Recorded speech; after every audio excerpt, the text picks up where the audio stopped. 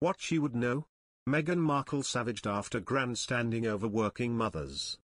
Meghan Markle has been savaged after speaking out about the pressures on working mothers. Many commenters questioned what the 40-year-old royal would know about the subject.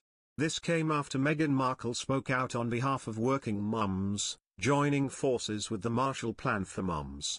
The Duchess collaborated with the campaign group to announce a national business coalition for child care, an effort to expand childcare support for workers. The Marshall Plan for Moms is a non-profit organization that advocates for policies financially benefiting working mothers in the wake of the pandemic.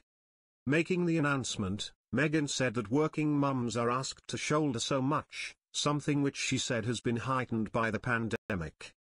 But many people hit out at the Duchess for her latest endeavor, questioning her experience as a working mum. One Express. UK reader, Meto, suggested that she was jumping on a bandwagon, saying, I am struggling to work out what she would know about working mothers or struggling to get childcare, only thing I can come up with is just another bandwagon. Another reader, nicknamed Really Really Too, agreed, writing, as if she would know. She has no job, millions in the bank, how would she know how real people cope with life struggles?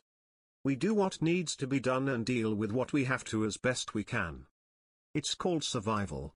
We don't have the choices she has. Claire Marie wrote, is she an expert on overworked mothers now? A fourth user, called Jays.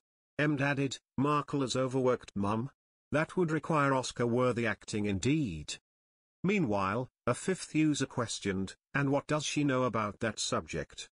However, other users defended the Duchess, with Sarah May writing, she didn't call herself an overworked mum, simply adjusting to new situations is something different.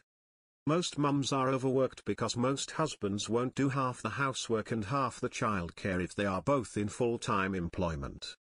Rezanson wrote, that's admirable proud of you and your girls, while another user said, you go, girl. Hats off to you. Speaking about the move, Meghan had said, families everywhere, and especially working moms, are asked to shoulder so much. This has only been heightened by the pandemic, with increased caregiving responsibilities, rising prices, and economic uncertainty.